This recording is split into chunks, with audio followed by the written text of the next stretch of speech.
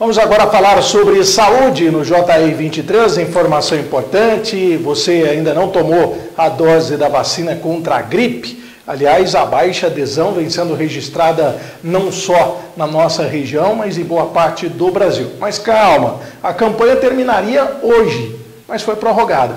Aqui em Franca, o anúncio também foi feito agora à tarde, né, Guilherme? Sim, Samuel. A Secretaria de Saúde aqui de Franca anunciou, portanto, hoje, quarta-feira, a prorrogação da campanha de vacinação contra a influenza até o dia 30 de junho. A ação nacional, que teve início no dia 10 de abril, seria encerrada hoje. Com essa decisão, a Secretaria Municipal de Saúde amplia a oportunidade para que as pessoas com idade a partir de seis meses possam se proteger contra a doença. Segundo informações da Vigilância Epidemiológica, até o momento, foram aplicadas 44.167 doses da vacina na cidade.